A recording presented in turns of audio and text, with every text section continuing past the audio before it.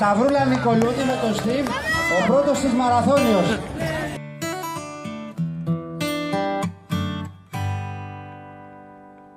Κάτω από τέσσερις, Σταυρούλα. Κάτω από τέσσερις ώρες, αυτό θέλει να κάνει.